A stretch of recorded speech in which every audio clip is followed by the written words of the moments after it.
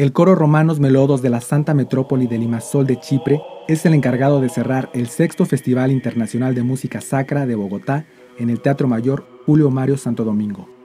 La agrupación fundada en 1997 con el padre Nicolaus Limburides como director está formada por alrededor de 30 miembros quienes guardan un amor especial por la música eclesiástica y tradicional.